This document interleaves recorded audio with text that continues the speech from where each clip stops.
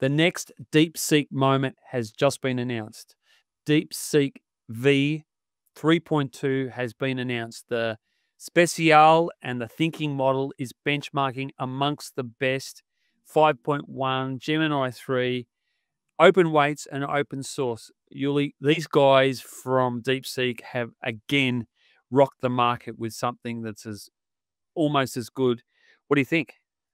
Yeah, it was just a few days ago that they released uh, DeepSeek Math V2, which was a tiny, like 8 billion parameter model that was able to rival the frontier models at mathematics and, and score a gold in the IMO, which I remember just a couple of months ago, we were saying that was, you know, groundbreaking. Oh my God, we've, we've finally solved all mathematics. Now we can do it with an 8 billion parameter model, which is ridiculous. And then just today, we've got this new one, the Speciale and the Thinking um, DeepSeek 3.2 models that have come out and which are now rivaling full Gemini 3.0 Pro um, at certain reasoning tasks. It, they're not as generalizable across many, many tasks, but in certain benchmarks, they're right the way up there. And as you said, they're open weights and open source.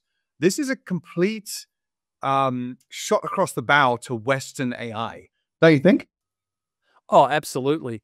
And uh, the geopolitical aspect of what happened in um, January when the first DeepSeek that took uh, almost a trillion dollars off the stock market.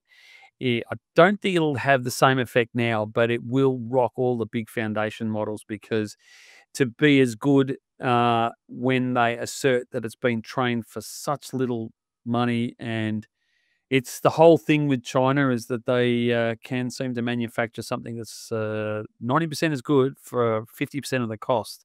And uh, here they go again.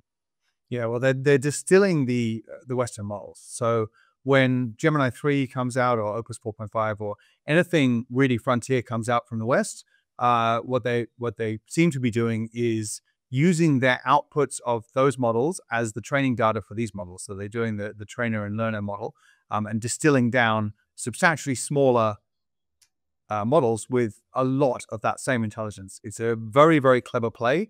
And I think it's happened so many times now that surely people have got to be factoring this into their strategies. I think we'll see which way this ends up going. Need help with AI solutions? Click on the channel link and follow the link tree.